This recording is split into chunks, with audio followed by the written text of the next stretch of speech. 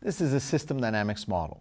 It helps you understand cause and effect and the long-term consequences of your actions. Our students have been using system dynamics to build capacity in Afghanistan, to match supply and demand in Cameroon, and to improve HIV response in Ivory Coast. This is a transshipment model.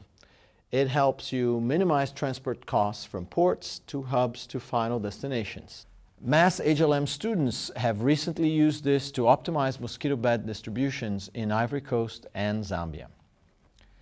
This is a swim lane. It's a type of process flow chart that shows the steps in a process and opportunities for improvement. Some of our students are using it to redesign vaccination procedures in Nigeria. Now, these are just a few tools and techniques that you will learn about here at MASHLM. Altogether, they help you understand and improve your decision-making processes, optimize your supply chains, and manage projects more effectively.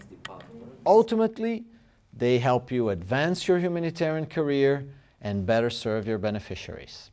So, come join us at the Master of Advanced Studies in Humanitarian Logistics and Management.